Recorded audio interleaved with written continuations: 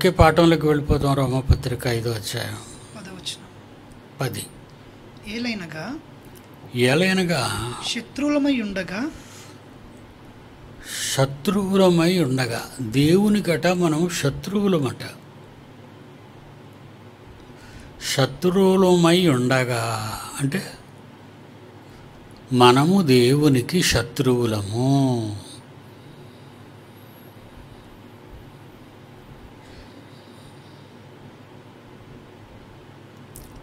యేసును నమ్మిన వాళ్ళు దేవుణ్ణి నమ్మిన వాళ్ళు. మరి మనమే శత్రువులు అయితే లోకంలో ఉన్న ఎనభై కోట్ల మంది ప్రజలంటే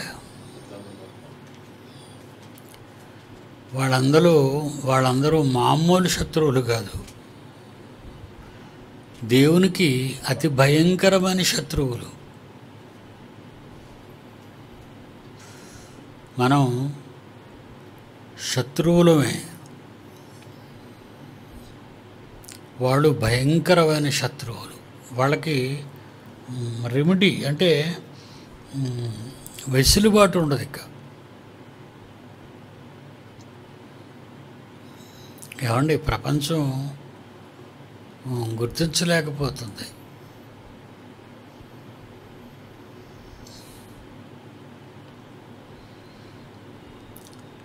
ఒక వంద సంవత్సరాలు అయింది. టైటానిక్ షిప్ మునిగిపోయింది అట్లాంటిక్ మహాసముద్రంలో. వందేళ్ళు అయింది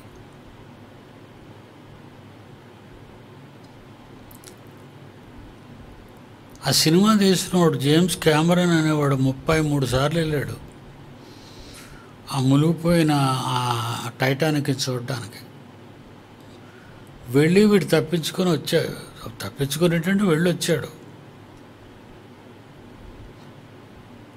షూటింగ్ కూడా లోపలికే కెమెరాలు అవి పట్టుకొని వెళ్ళి దాన్ని తీశారు.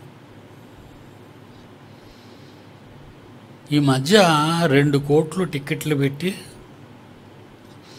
ఐదుగురు బిలియనర్స్ మిలియనర్స్ కాదు బిలియనర్స్.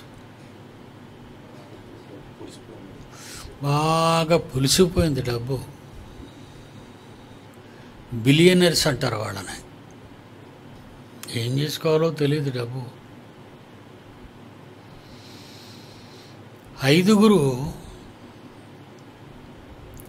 ఒక చిన్న జలాంతరగాములాడ దాన్ని తయారు చేసుకొని అందులోనే బాత్రూములు పడక గదులు తయారు చేసుకొని లోపలికి వెళ్ళారు లోపలికి వెళ్ళాక కనబడలేదు. ఆ జలాంతర్గామి కనబడలేదు. పాకిస్తాన్ బిలియనర్ వాడు కొడుకును కూడా తీసుకెళ్ళాడు పెద్ద కొడుకుని. వాడితోనే ఐదుగురు.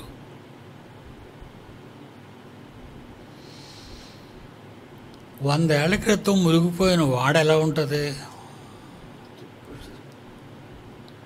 ఉప్పు నీటిలో తుప్పు పట్టి నాచు పట్టి రకరకాల చేపలకు నిలయమై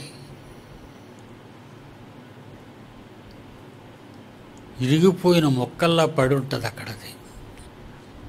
దాన్ని చూడడానికి వీళ్ళు వెళ్ళటం అంత అవసరం అండి? మనలో మనమాట అనుకుందాం.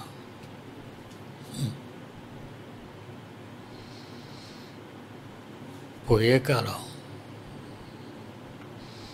దీన్ని ఏమంటారంటే పోయే కాలం.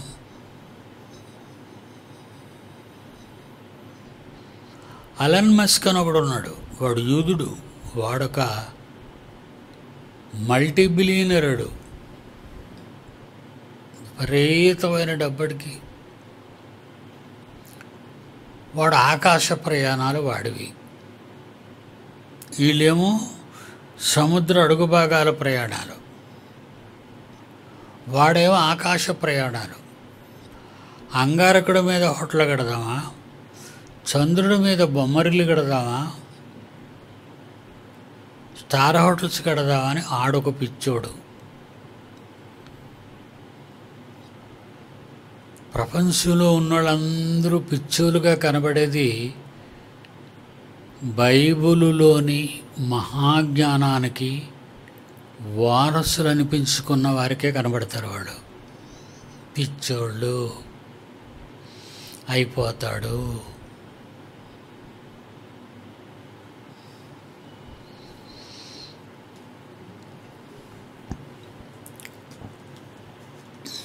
మొన్న ఏస్కేలు గ్రంథం చదువుతుంటే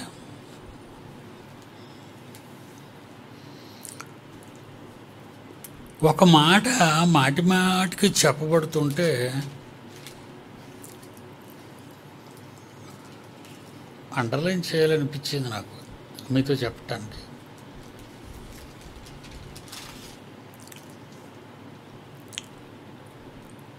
చదువుతాను. నిజంగా దేవుడు రాయించిన ఈ మహాజ్ఞాన గ్రంథం మీకు అర్థమైతే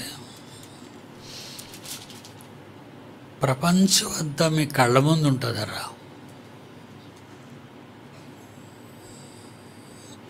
ఇందాక పిల్లలు దెబ్బలాడుతున్నాను.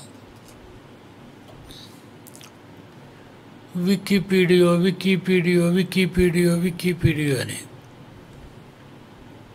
ఒక పుస్తకం ఉంది ప్రపంచంలో వికీపీడియా అని.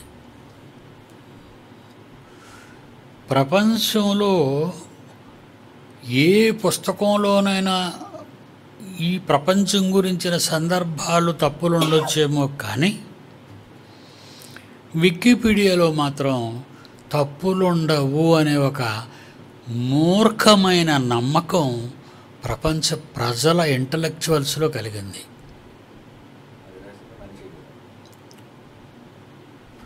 ఇంతకీ ఈ వికీపీడియా రాసింది ఎవరు? మల్లాండుడే ఆడు మనిషే. మరి ఆడు తప్పులు రాయడా?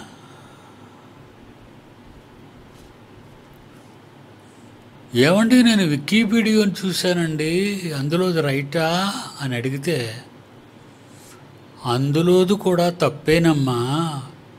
ఒక్క బైబిల్లో ఉన్నదే రైట్ అని చెప్పాను.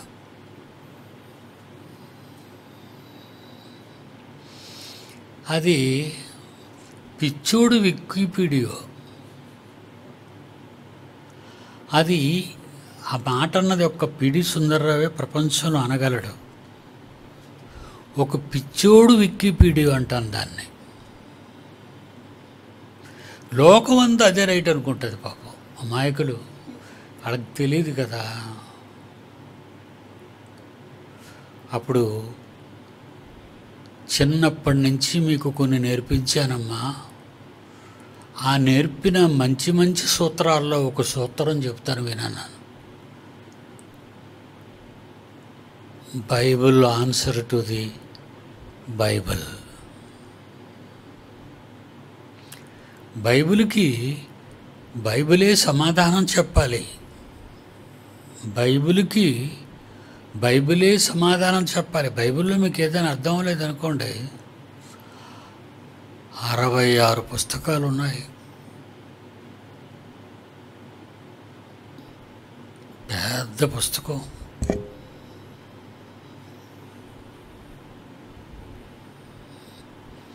ఇరవై ఆరు పుస్తకాలలో బైబిలులో ఉన్న ప్రశ్నకు సమాధానం ఎక్కడో ఒక చోట భద్రపరచబడుతుంది. ఎతకలేక మొత్తం అంతా బైబుల్ చదవలేక వికీపీడియా అంటారు. దానికి సమాధానం చెప్పేది వికీపీడియా కాదు.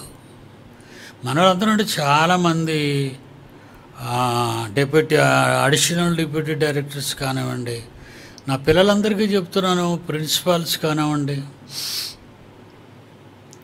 డిప్యూటీ డైరెక్టర్స్ కానివ్వండి అందరికీ నేను చెప్తాను ఒక తండ్రిగా. వికీపీడియా జోలుకు వెళ్ళకండి. వికీపీడియాలో బైబిల్లో ఉన్న ప్రశ్నకు సమాధానం వికీపీడియాలో ఉండదు. బైబిల్లోనే ఉంటుంది. నీకెత్తకటం నీ సోమరితనం నీ బద్ధకం నువ్వు చూడలేక చదవలేక పట్టించుకోక సిలబస్ ప్రకారంగా వికీపీడియోని ఆల్ఫాబెటికల్గా పట్టియచ్చు అని ఒక సులువైన మార్గాన్ని నువ్వు ఎన్నుకుంటున్నావే తప్ప వికీపీడియా రాసింది ఇలాంటి ఒకరు all deputy directors all deputy directors all additional deputy directors all principals all my students ప్రపంచవ్యాప్తంగా నా పిల్లలందరికీ నేను చెప్పేది వికీపీడియా జోలికి వెళ్ళకండి. మీలాంటి వాడు రాసింది అది నేను మీకు మొట్టమొదటి నేర్పించింది ఆ ఈ ఉ అని తెలుగు అక్షరాలు ఎలా నేర్పిస్తారో అలాగే Bible answer to the Bible. బైబిల్కి బైబిలే సమాధానం చెప్పాలి అంటాను. కొంతమందికి ఏదో వాళ్ళేదో మేధావులు అనిపించుకోవాలని ఈ పిచ్చి పీడియో పట్టుకొని చదివేసి మేమేదో కొత్త సంగతి చెబుతున్నాం.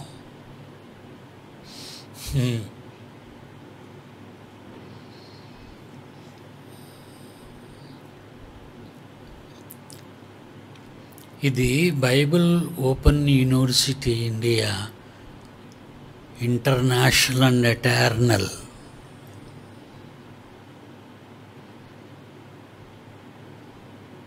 ఇక్కడ దేవుడు రాయించాడు. దేవుడు రాయించాడు. గ్రంథకర్త దేవుడు. ఆయన రెసిడెన్స్ ఎక్కడ? హెవెన్. ఆయన రెసిడెన్స్ హెవెన్.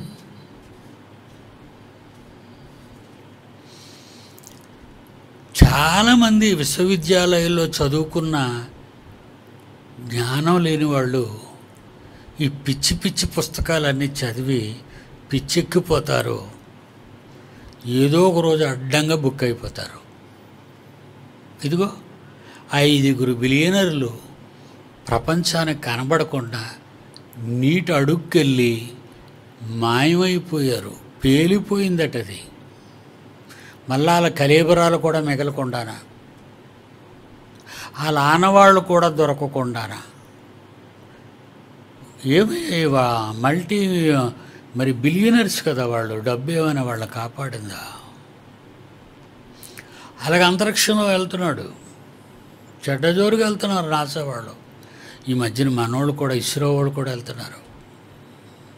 పోటీ. వీళ్ళిద్దరికీ చెప్తాను మన దేశం అమెరికా అంటే చాలా దేశాలు ఉన్నాయి మరి వీళ్ళిద్దరికీ ఒక గురువుగా నేను ఒక మాట చెప్పాలి. బుజ్జి కన్నలు ఇలాంటి ప్రయోగాలు చేయకండి అయ్యా. ప్రజాధనాన్ని కోట్లు కోట్లు గాలిలో కలిపేస్తున్నారయ్యా. దీపావళి సామాన్లు వెలిగించేటప్పుడు ఒక మాట అంటాను. పొగలో కలిపేస్తున్నారయ్యా మతాబీలన్నీ పొగ ఏం మిగులుతుంది? ఒకసారి జిగ్గును మండుతుంది తర్వాత పొగ. ఒకడు నీటిలో ముంచేస్తున్నాడు ఒకడు పొగలో కలిపేస్తున్నాడు ఒకడు ఆకాశంలో కలిపేస్తున్నాడు. అనాథులై ఆకలితో అలమటించే లక్షలు ముప్పై కోట్ల మంది ఉన్నారట యుఎన్ఓ చెబుతుంది. ఆకలి బాధ తట్టుకోలేక చచ్చిపోతున్న వాళ్ళు. వాళ్ళకి అన్నం పెట్టకూడదా? మరి నన్ను అడిగితే? వీళ్ళందరినీ కూర్చోబెట్టి అదే క్లాస్ చెప్తాను. అన్నం పెట్టండి అయ్యా. నీ చుట్టూ ఉన్న నీ వ్యవస్థ నీ తమ్ముళ్ళు నీ అన్నలు అక్కలు చెల్లెళ్ళు వాళ్ళందరికీ పట్టాడు అన్నం పెట్టి బ్రతికించరా? మీరున్న ఈ నేల water pollution air pollution total క్రియేషనే pollute అయిపోతుంటే భూమంతా చెట్లు నరకకుండా చెట్లు వేసి ఆక్సిజన్ పుట్టించరా? ప్రాణవాయువు అది అది అందక వేలు లక్షలు పెట్టి కొనుక్కుంటున్నారు. మనకు తయారు చేసే ఆక్సిజను మనం నాటే చెట్లే. తమ్ముళ్ళు పాఠాలు నేర్చుకోరా. నరికే చెట్లు కాల్చే అరణ్యాలు ఎవరు చెప్పారు ఇదంతా? కక్షలతో కార్పణ్యాలతో దేశాల మీద పగతో ఉగ్రవాదంతో ఎందుకు ఈ దోపిడీ విధానం? ఇప్పుడే ఒక న్యూస్ వచ్చిందండి. ఒరిస్సాలో కలెక్టర్ గారి దగ్గరికి సిఐడి వాళ్ళు వెళ్ళారట అది. యాంటీ కరప్షన్ బ్యూరో వాళ్ళు. పక్క మేడ మీదకి సూట్ కేసు విసిరేసాడట కలెక్టర్ గారు అసిస్టెంట్ కలెక్టర్ గారు. పక్క మేడ మీదకి విసిరేసాడట మొత్తానికి ఈ రైడింగ్లో ఉన్న వాళ్ళు కానిస్టేబుల్ మొత్తానికి ఎవరో చూశారు. ఇదేంటి ఓ బాక్స్ అట్టే లడ్డుపడిందని వీడు పైకి వెళ్ళి చూసేసరికి కొత్త ఐదు వందల రూపాయల కట్టలు రెండు కోట్లు ఉన్నాయట అందులో. అంటే నేను నేరస్తుని సుమా ఆకాశంలో జెండా ఎగరేశానని చెప్పాడు వాళ్ళకి నువ్వెందుకు పెట్టేసరాలరా నాయనా? నీ కర్మ కాకపోతే.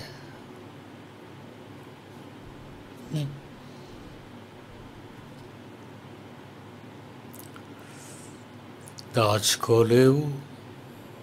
దోచుకుంటావు. కానీ దాచుకోలేవు. ఈ బిలియనర్స్ అందరూ దోచుకున్నదే. ఇప్పుడు వాళ్ళు ఏం చేశారు? వదిలివేసి వెళ్ళిపోయారు వాళ్ళు. అనుభవించడానికి వాళ్ళు లేరు.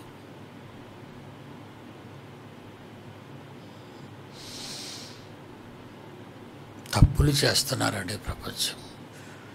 మరి మన పాఠాలు వింటారా? పాకిస్తానుడు మనకు చెప్పడమా? బంగ్లాదేశుడు మనకు చెప్పడమా? ఇండియా వాడు మనకు చెప్పడమా? యునైటెడ్ స్టేట్స్ ఆఫ్ అమెరికా మందే. అగ్రరాజ్యం రష్యా మందే. ఒకప్పుడు జటకాలు లాక్కున్న మనం ఈరోజు ప్రపంచంలోనే హయ్యెస్ట్ టెక్నాలజీకి వెళ్ళిపోయిన అగ్రరాజ్యమైన చైనా మనది అని చెప్పుకున్నారండి వాళ్ళందరూ మనిషిని వెనకత్తలు కూర్చోబెట్టి మనిషే లాగేవాడు జటక. అది చైనా. ఒక యాభై ఏళ్ళ క్రితం చైనా. ఇప్పుడు? అన్ని రోబోలే వంట వండేవి రోబోలు హోటల్లో తెచ్చేవి రోబోలు నీ దగ్గర పడుకునేవి రోబోలు నీవు ఆఫీస్ వరకు చేసేవి రోబోలు నిన్ను చంపేసేవి రోబోలే మరి ఇప్పుడు చివరికి అదే కదా వచ్చేసింది. అంటే పిచ్చెక్కుతుంది వాళ్ళకి రాను రాను పిచ్చి. పిచ్చి ఎక్కువైపోవటం వల్ల తప్పులు ఎక్కువ జరిగిపోతున్నాయే తప్ప ఒప్పులు ఎవడు చెబుతాడా అని ఎతకటం లేదు. ఇక మన ఇండియా అంటారా ఇండియా వాళ్ళ మనకు చెప్తారా? మన ఇండియా వాళ్ళంటే వాళ్ళకి చాలా చిన్న చూపు.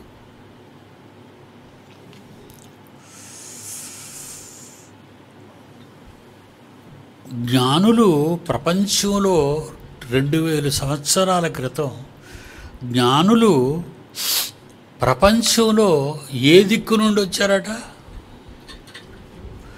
తూర్పు దిక్కు నుండి వచ్చారు. వాళ్ళు ఎవరట జ్ఞానులు. ఎవరు చెప్పారు? వికీపీడియా కాదు. బై బైబిల్ చెప్పింది. తూర్పు దేశం నుండి జ్ఞానులు వచ్చారట. దేన్ని చూసి? ఆకాశంలో కదులుచున్న నక్షత్రాన్ని. అంటే ఆకా అంతరిక్షం గురించి తెలుసు అంతరిక్షంలో ఉన్న నక్షత్ర రాసులు తెలుసు నక్షత్ర రాసులు గమనాగమనాలు తెలుసు. ఎవరికి? తూర్పు దేశాలలో ఉన్న వాళ్ళకి. అమెరికా ఎక్కడుంది? పశ్చిమ దేశాల్లో ఉంది. NASA NASA NASA NASA NASA ఏట్రా నాసా? అంత నాశనం. వెస్టర్న్ కంట్రీస్ అంటారు అట్లని. నీ నాసా తగలట. నాసో నాసో నాసో. ప్రతివాడికి నాసాయే. ప్రపంచంలో మళ్ళా.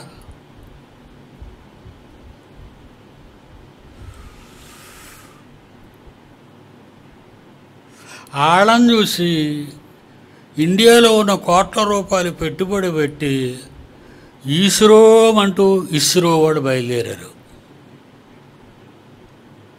ఈస్రో అంటే అర్థమైందా? ఎందుకు రమాకి కర్మ అని అర్థం. ఏమండి? ఒక అంతరిక్ష పరిశోధనాశాల గురించి మాట్లాడిన మగాడు ప్రపంచంలో ఎవడైనా ఉంటే ఆడు మీ డాడీ.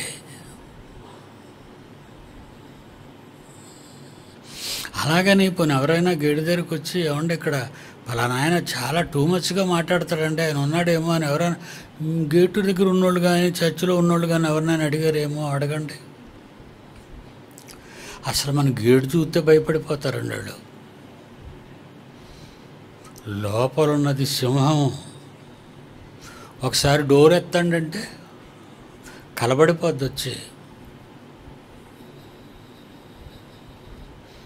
సర్కస్లోకి వెళ్ళి గేట్ ఎత్తానంటావా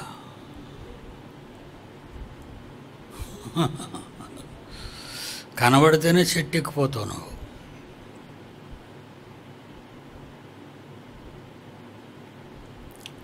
తూర్పు దేశపు జ్ఞానులు. మన భారతదేశం ఎక్కడుంది? తూర్పున ఉంది. చెప్పండి అందరికీ మన భారతదేశం తూర్పు దేశం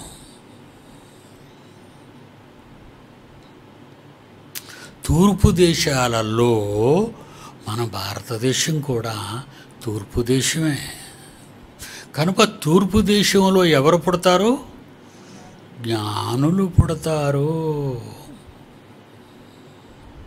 అందుకే రెండు వేలు సంవత్సరాల క్రితం నక్షత్రాల గమనాగమనాలను పరిశీలించి యూదులు రాజుగా పుట్టినవాడు ఎక్కడున్నాడు అని యూదులను పాలించే రాజుని అడిగారు. ఆడసలే మెంటలోడు. అడగ్గా అడగ్గా అన్ని అడగాల. ఆడే ఎతుకుతున్నాడు హీరోని చంపేద్దామని. విలన్. హీరోదండి.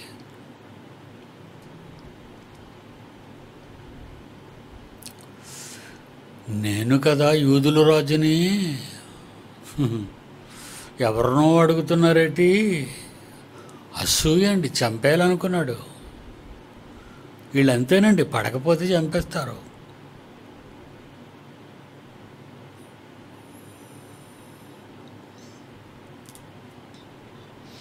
ఏస్కేల్ గ్రంథం ముప్పై రెండవ అధ్యాయం. ఏస్కేల్ గ్రంథం ముప్పై రెండో అధ్యాయం. వికీపీడియాలు చదవకండి. మైండ్ వీక్ అయిపోద్ది. Bible answer to the Bible that is PD Sundar Rao says.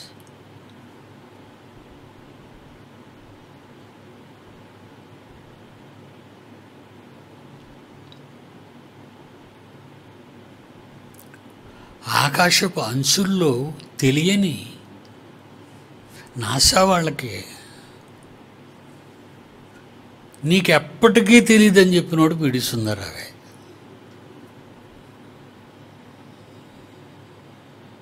ఇంకోటి చెప్పాను. ఆ కనపడుతున్న నీలంగా ఉన్నది ఆకాశం అంటున్నావు కదా. ఆకాశమే. అక్కడ ఏముందో నీకు తెలుసా? నీళ్ళు రా అన్నాను. నీళ్ళు. అది చెప్పినవాడు పిడి సుందరరావే. నికిపీడియోని చూసి కాదు వికీపీడియోని చూసి కాదు బైబిల్ చూసి.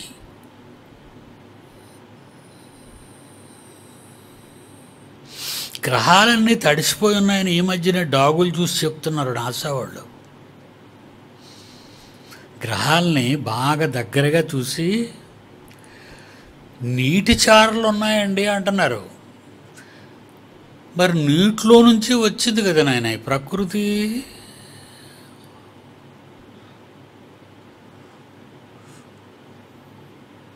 అది ఎందు దేవుడు భూమి ఆకాశములు సృజించెను. అవి నిరాకారంగారం సూర్యంగా శూన్యంగాను ఉన్నాయి. అగాధ జలములు వాటిని కమ్మి ఉన్నాయి అవన్నీ జలాలలోనే ఉన్నాయి. జలాలలో నుంచి వేరు చేశాడు దేవుడు అని ఆది కాండం మొదటి అధ్యాయం విప్పింది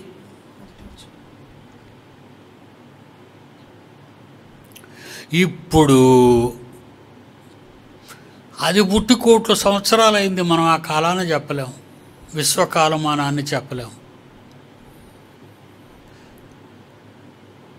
మనకున్న ఈరు క్యాలిక్యులేషన్ కాలాన్ని బట్టి చూస్తే పోను కొన్ని లక్షల సంవత్సరాలు అయింది పదిహేను వందల కోట్ల సంవత్సరాలు అయింది అని వీళ్ళ లెక్కల ప్రకారంగా ఒకవేళ ఆడగురు ఆళ్ళతోనే చెబుదాం. పదిహేను వందల కోట్ల సంవత్సరాల తర్వాత బయటకు వచ్చిన విశ్వాన్ని ఈ గ్రహాలని ఈ నక్షత్రాలని ఇవన్నీ చూసి అంటాడు వీటిలో నీటి చారలు కనబడుతున్నాయి. ఇప్పుడు కనిపించాట ఎప్పుడిల్లో కళ్ళద్దాల షాప్కి?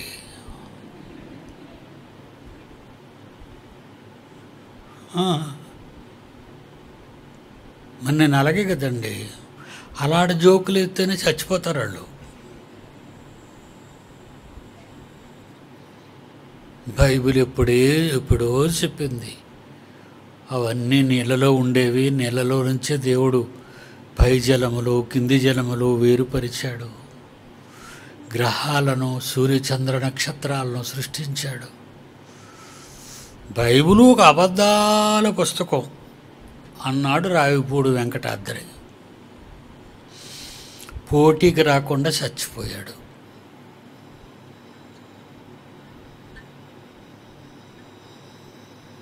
హేతువాద నాయకులీలు ఓ తెగ తొడగొట్టేసేవారు ఆ రోజుల్లో. ఇప్పుడు తొడక చెయ్యి వెళ్దాలి. సెల్యూట్ కొట్టడానికి నెత్తికాసి వెళ్తుంది చెయ్యి. మన పేరు ఎత్తగానే.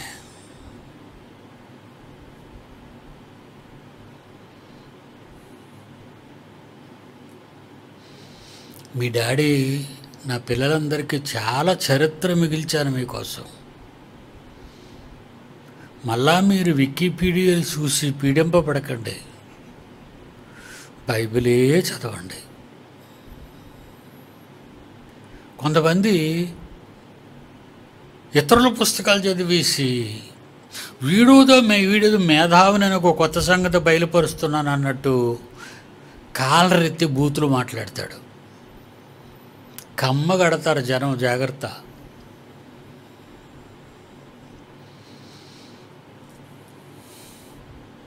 ఈ మధ్య ఒక కుంటావిడ ఒక పాట కట్టిందండి. తెగ పాడుతుంది ఆ పాట. సినిమాలో కూడా పాట పాడారు. ఒక కుంటావిడ ఈ మధ్య గొప్పల గొప్ప గొప్పలదడ చేస్తుందండి. నడక మారింది. స్టైలు మారింది. గాడిది గుడ్డు మారింది. నువ్వు మారకు. ఏటండా డ్యాన్సులు వేసి మళ్ళా కాలు కూడా తిన్నకుండదు ఫన్నీగా దాన్ని సినిమాలో తీసుకున్నారు ఆ పాటని. అలాగే అడుక్కున్నోళ్ళు లెపర్సీ బండి మీద తోసుకెళ్తూ పాత సినిమాలో నడిపించు నానావా అక్కడ పాట. ఈ పాట అక్కడ.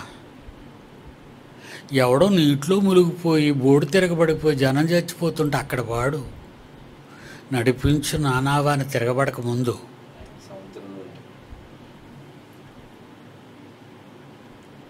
మన పాటలన్నీ మెడలో సిలువులేసి చేతులకు కుష్ఠరోగులు గుడ్లు కట్టి ఒక చెక్క బండిలో కూర్చోబెట్టి మా అక్కడ కాళ్ళు చేతులకు బ్యాండేజీలు వేసుకొని ఇలాంటి పాటలు పాడుకొని తిరుగుతున్నారండి. ఎంత కమ్మ కడుతున్నారండి. మన వాళ్ళకి సిగ్గు అనిపించడం లేదు కదా అది. ఇది కురాన్ మీద ఒక పాట పాడమనండి అలాగా. పగిలిపోద్దా బండి తిని బాంబెట్టి పేల్చేయటమే. అడుక్కున్నారు అందరినీ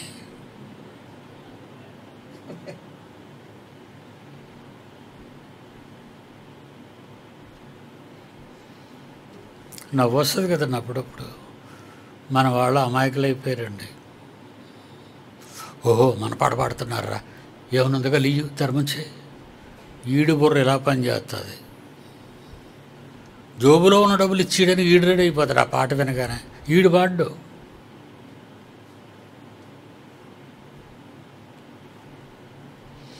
దేవుడు అంటున్నాడు భూమి మీద బలవంతులైన వారిని అందరినీ లేపేస్తానంటున్నాడు. నువ్వు ధనంలో బలవంతుడువా? పరాక్రమములో బలవంతుడువా? Neutron hydrogen బాంబులతో బలవంతుడువా? భూభాగాలతో బలవంతుడువా? అగ్రరాజ్యాల బలవంతుడువా? డబ్బున్న బలవంతుడువా? అలాంటి బలవంతులందరూ వినవలసిన మాట అలలగా వినరు మీరు వినండి. ముప్పై రెండు ఏస్కేలు గ్రంథంలో ఇరవై మూడు వచనంలో ఏజ్కేల్ గ్రంథం ముప్పై రెండో అధ్యాయం ఇరవై మూడో వచ్చిన ఏస్కేలు గ్రంథము ముప్పై రెండవ అధ్యాయము ఇరవై మూడవ వచనం. దాని సమాధులు దాని సమాధులు పాతాళ అగాధములో నియమింపబడినవి. దాని సమూహము దాని సమాధి దాని. సమాధి చుట్టూ ఉన్నది. వారందరూ సజీవులు. వారందరూ సజీవుల లోకములో. భయంకరులైన వారు సమాధి చేసేసారట వాళ్ళని. అట్లాంటి కడుక్కెళ్ళి పేలిపోయారు. బిలియనీర్స్. దేవుడు కోపం వచ్చింది. దాని సమాధులు పాతాళగాధములో నియమింపబడినవి. దాని సమూహము దాని సమాధి చుట్టూ ఉన్నది. వారందరూ సజీవుల లోకములో అంటే ఈ భూలోకములో భయంకరులు భూలోకంలో బాగా తెగబలిసిన వాళ్ళు వీళ్ళు వీళ్ళకి ఇక్కడ ఏం కనిపించవు? దేవుడు దెయ్యం ఏం కనిపించదు? అంతా వాళ్ళే. ఫరో అనుకునేవాడట నైలు నది నాది నేనే తెయేశాను అన్నాడట చదువుతుంటే. ఎస్కేల్ గ్రంథంలో ఫరో అనుకుంటుండట నైలు నది నేనే తవ్వించానంటున్నాడు. నువ్వా? నైలు నదినా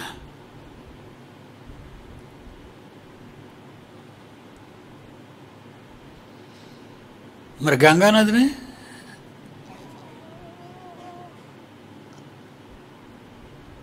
గోదావరి నదిని? కృష్ణా నదిని? ఏంటి మనుషులు తవ్విస్తారా ఇంకేమి చెప్తామండి వాడికి వాళ్ళకి ఏం చెప్తాం మనం? హిమాలయ పర్వతాల మీద మంచం మంచు పోగు చేసింది నేనే ఎవడని అన్నాడు అనుకో ఆయన వెంటనే తీసుకెళ్ళిపోయి జాయిన్ చేసేయాలండి. ఎందుకంటే మైండ్ చెదిరిపోయింది అడికి సజీవుల లోకములో భయంకరులైన వారు కత్తిపాలై చచ్చిపడి ఉండిరి. భూమి మీద గొప్ప వాళ్ళందరూ ఏమైపోతారో చెప్తున్నాడు చూడండి కింద మీరు జాగ్రత్తగా వినాలి అది ఇరవై నాలుగవ వచ్చిన చివరి మాట. ఇరవై నాలుగవ వచ్చినంలో మళ్ళా మళ్ళా చదువుతున్నాను. అందరూ కత్తిపాలై చచ్చిరి వారు సజీవుల లోకములో భయంకరులైన వారు. రెండోసారి. సజీవుల లోకములో భయంకరులైన వారు. వారు సున్నతి లేని వారే పాతాళములోకి దిగిపోయిరి. గోతిలోకి దిగిపోయిన వారితో కూడా వారు అవమానమునందుదురు. ఇరవై ఐదవ వచనం. హతులైన వారి మధ్య దానికిని దాని సమూహమునకును పడమ పడకము పడక పడక ఒకటి ఏర్పడను. దాని సమాధులు దాని చుట్టూ ఉన్నవి. వారందరూ సున్నతి లేని వారే హతులైరి. వారు సజీవుల లోకములో భయంకరులు గనుక గోతులోకి దిగిపోయిరి. మూడోసారి నాలుగోసారి ఇరవై ఆరు. నాలుగోసారి ఇరవై ఆరు. దా మధ్య నేను చదువుతున్నాను. దాని సమాధులు దాని చుట్టూ ఉన్నవి వారందరూ సున్నతి లేనివారు సవ సజీవుల లోకములో వారు భయంకరులైన వారు కత్తివాత పాలైరి ఆయుధములను చేతబట్టుకుని పాతాళములోకి దిగిపోయిరి. ఆయుధాలు పట్టుకుని యుద్ధరంగానికి వెళ్ళాలి కానీ పాతాళానికి పోయేటట్లు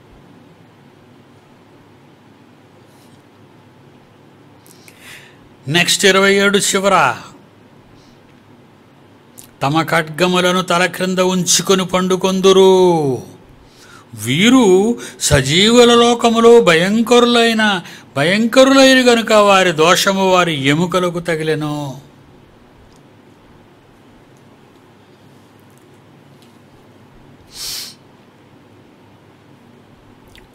అమ్మా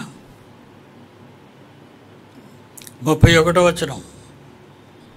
కత్తిపాలైన ఫరోయు అతని వారందరూ వారిని చూచి తమ సమూహం అంతటిని గూర్చి ఓదార్పు తెచ్చి వాదార్పు తెచ్చుకొందురు. ఇదే ప్రభు ప్రభువుకు వాక్కు.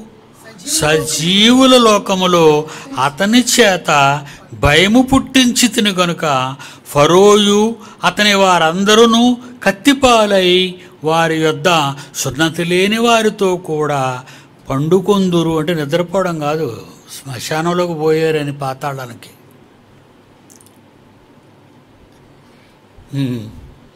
భూమి మీద బలవంతులైన వారి ముగింపు చదివాను. ఇంకా అందరి గురించి మీరు లెక్కేసుకోవటమే మీరు. అమెరికన్స్ భూమి మీద బలవంతులైన వారు. చైనీయులు భూమి మీద బలవంతులైన వారు. ఉత్తర కొరియా. తెగరెచ్చిపోతున్నాడు. భూమి మీద బలవంతుడైన వాడు.